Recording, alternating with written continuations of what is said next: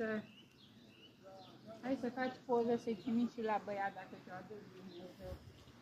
Stai liniștită că a fost aseară să vadă, dă-mi pace că ea și lemne m-a dus în grădină și tot acum am văzut, crăpăd-o făcut.